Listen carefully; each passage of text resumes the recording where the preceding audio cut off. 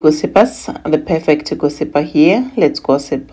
Gossipers, do not forget to subscribe on the channel and to like this video. Mamkhize, who was trending the past week after an interview, shared that she is ready to face challenges that are waiting for her and that she is grateful for the strength that she have amidst everything that is happening. As She wrote, As I step into this new week, I am ready to face challenges that await. While defeat is not easy, our spirits remain intact.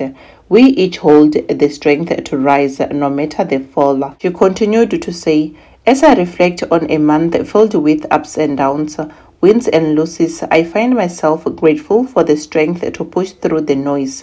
I'm reminded to be grateful for every experience that has shaped me. They say yellow is the color of sunshine, hope, and happiness. How fitting that I can draw an end this week with warmth and possibilities. Gossipers, she was captioning a picture that she was wearing a yellow outfit. You know, I really, really love this white outfit. Please do let me know what you think about this down on the comment section. Do not forget to like, do not forget to subscribe. Please click on the bell so you will never miss an update from this channel. Bye, Gossipers. Cheers.